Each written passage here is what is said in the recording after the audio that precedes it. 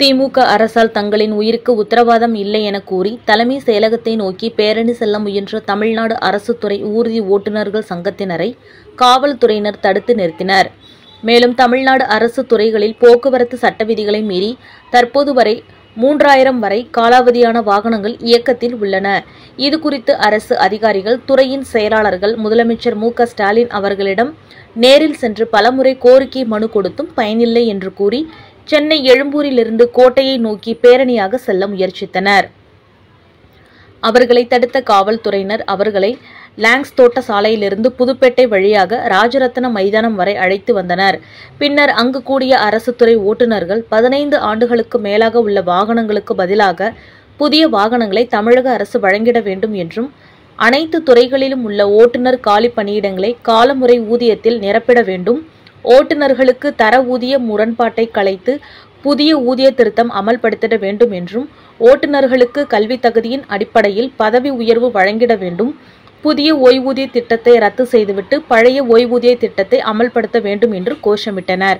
அதன் பிறகு செய்தியாளர்களிடம் பேசிய திருப்பூர் மாவட்ட செயலாளர் தம்புராஜ் அவர்கள் தெரிவித்திருப்பதாவது இதுவரை மூன்றாயிரத்திற்கும் மேற்பட்ட வாகனங்கள் அரசு துறையில் வாகன பதிவுகள் காலாவதியான வாகனங்களை இயக்க ஓட்டுநர்கள் வற்புறுத்தப்படுகின்றனர்.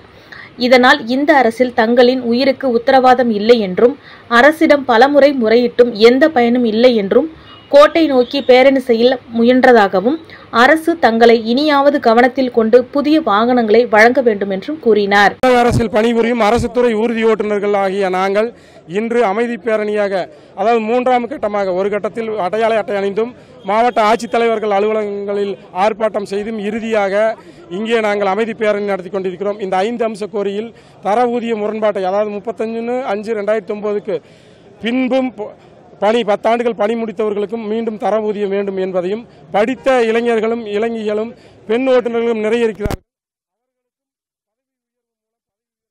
வேண்டியும் பழைய வாகனங்களை கழிவு செய்யும் தமிழக அரசு த மத்திய அரசின் ஆர்சி புத்தகம் ரத்து செய்வதையும் ஏற்றுக்கொண்டு புதிய வாகனங்களை வழங்கியும் அதற்கு வந்து ஒப்பந்த முறையில் வாகனங்களையும் ஓட்டுநர்களையும் நியமிக்க வேண்டாம். வேலைவாய்ப்பு அலுவலகம் மூலம் நியமிக்க வேண்டும் என்பதையும் ஓட்டுநர்களை பணியிறக்கம் செய்து கௌரவ கௌரவ குறைவாக நடத்திவிட வேண்டாம் என்பதையும் வலியுறுத்தி இந்த பேரணியும் மூன்று கட்ட போராட்டங்களும் நடந்து கொண்டிருக்கிறது. இதில் வந்து பெண் நூற்றுக்கு மேற்பட்ட பெண்களும் முப்பத்தெட்டு மாவட்டத்திலிருந்து அனைத்து மாவட்ட நிர்வாகிகளும் தோழர்களும் கலந்து கொண்டோம். இதுதான் இன்னைக்கு எங்கள் கோரிக்கை. இந்த பேரணியில் கலந்து கொண்ட ஓட்டுநர்கள் தங்களின் கோரிக்கை அடங்கிய பதாகைகளை கையில் ஏந்தியவாறு நடனமாடி அரசின் கவனத்தை ஈர்த்தனர்.